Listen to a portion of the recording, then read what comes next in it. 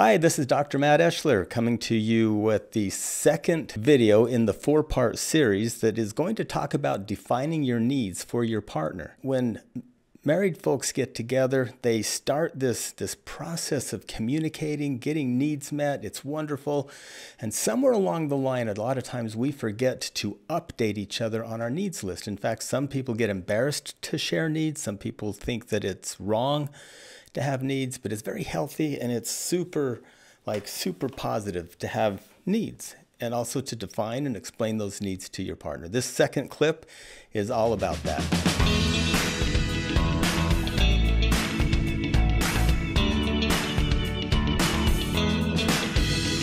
To understand your needs to be happy.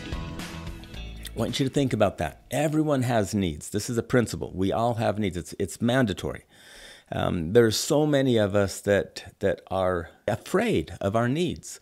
We're afraid of them. We're afraid to have needs, express needs, and and quite honestly, there is uh, somewhat of a gender difference. It seems in that where it appears easier for men to express their needs than for women. A lot of times in my office, I'll ask the couple to take turns and just tell me their top five needs to be happy in. And it, it it's um, a lot of times the men can rattle off top five needs pretty quickly, and and moms, a lot of times, they'll say something like, um, "Well, I just need my kids to be happier." And I said, "Well, that's a great a great want, but I want to know what your needs are, your very personal needs. Like what makes you smile, what makes you feel joy, happiness, peace." those warm, fuzzy, romantic feelings. What is what is required? What do you need for that? And and that'll help us understand what isn't juicy and, and sexy and fun for you.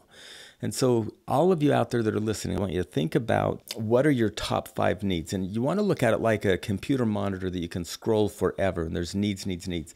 Like needs number 6,472 for me is to have my toast cut diagonal, not straight across. Because, you know, when you cut toast diagonal, there's equal crust on both sides. And so you don't have one side with a bunch of nasty crust and the other side not.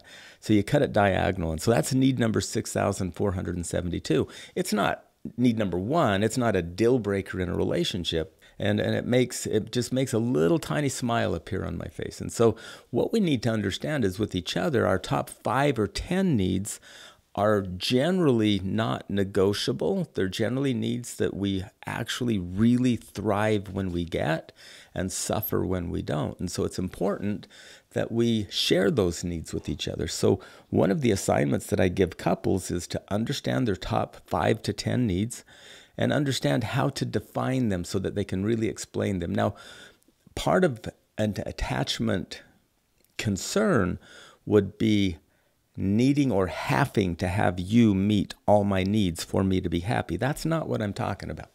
What I'm talking about is a healthy expression of your needs, and then trust that your partner, your lover, will serve you during the week by um, by remembering those needs and meeting them uh, as often as they can, as often as they can work that into their busy schedule and their agendas. And you just trust that because they love you, they want to serve you with their strengths and, and their talents, and they'll find ways of getting those needs met for you. Most often, needs are not ignored, most often they're misunderstood. So, having a clear definition of your needs and then express that um, is super important. We all have needs. We all have thousands of needs, and it's healthy to have needs. Needy people demand others to meet their needs and expect others to meet their needs. People that are easily offended walk around looking for people to not meet their needs, and then and then they feel offended because they feel like they're entitled to it. Anxious people sometimes get caught up in a like you're the only one that can meet my needs, and so you have to meet all of them, and it makes me fear filled when you don't. We're talking a super healthy. I recognize I have needs I can express them and I can also work my way through them doing self care, just really enjoying it when you um, take time to serve me by meeting them. That's healthy.